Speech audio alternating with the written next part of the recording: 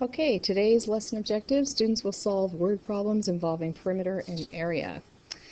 So this first problem, we have the perimeter of a rectangle is 690 inches and its length is 213 inches.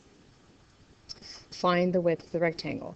So we're going to want to first of all draw a picture of it. If you draw it, it will make it easier to solve the problem. You can see visually what's happening. So we will draw ourselves a rectangle and we know the opposite sides of a rectangle are congruent.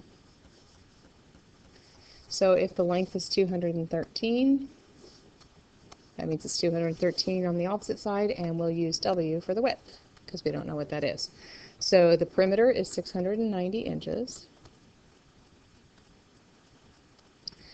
Perimeter is determined by adding up all the sides. So 213 plus W plus 213 plus W has to add up to 690.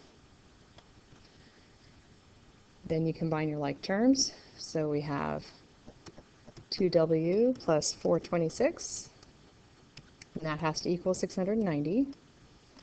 Subtract the 426 from both sides. And you get the 2W is equal to 264. And then you divide by 2 and you get that the width is equal to 132 inches. And that would be your answer.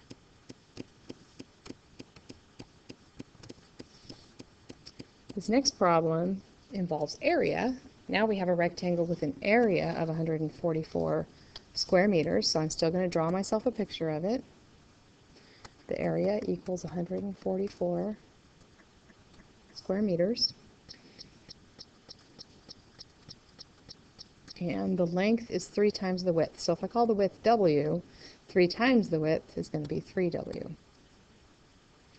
And so the area of a rectangle is found by doing length times width. So we're going to plug in what we know and solve for what we don't know. So the area, 144, is equal to the length, 3w, times the width, w. And 3w times w is just 3w squared. And then I divide both sides by 3. And so I get that the width is equal to, or the width squared rather, is equal to 48. So if I want to find out what the width is, I need to take the square root of both sides. And 48 um, has a perfect square that will divide into it. Um, you want to find the biggest one you can, in this case 16 times 3 is equal to 48. So that means that my width is 4 root 3 meters. And then the length is equal to 3 times the width, so 3 times 4 root 3. And so that would be 12 root 3 meters.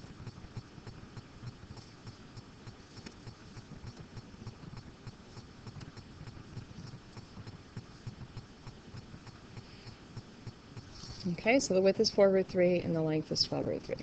Okay, so this next one um, is a little easier and you guys are going to do this one on your whiteboard. If you're watching this at home, pause the video and attempt to do the problem on your own. First of all, draw a picture. Let me see your picture.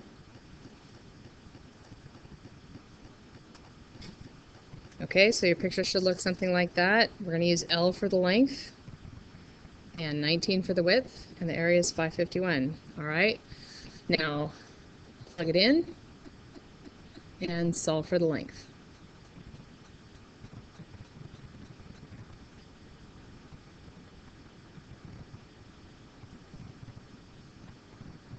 So again, using, whoops, using area equals length times width, that means that 551 has to equal L times 19. So to get the L alone, we're just going to divide by 19. And that means that the length is 29 inches.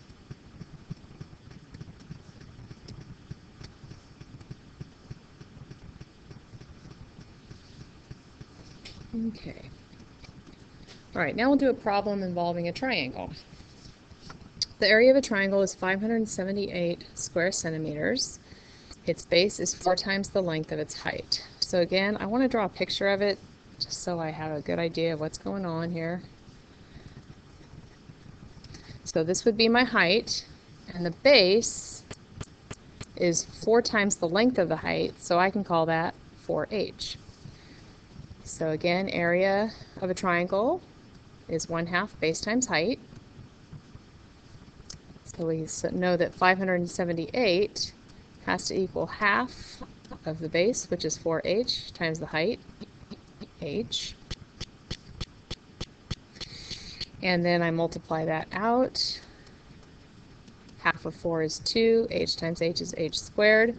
And so if we divide by 2, I know that h squared is going to be 289. So when you take the square root, you get that h is equal to 17 centimeters.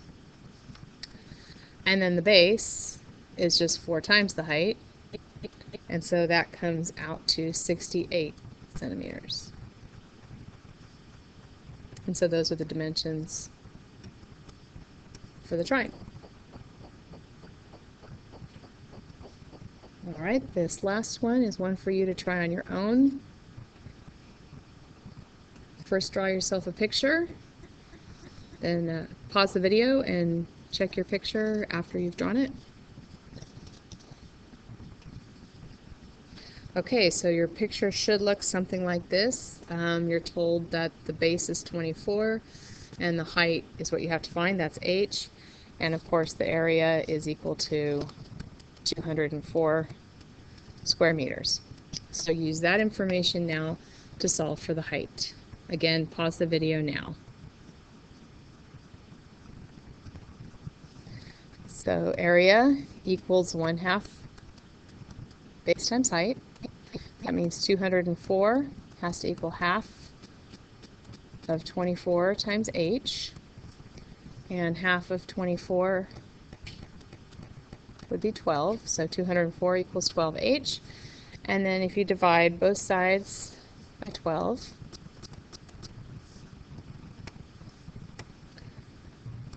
you get that the height is 17. So 17 meters would be the height of the triangle.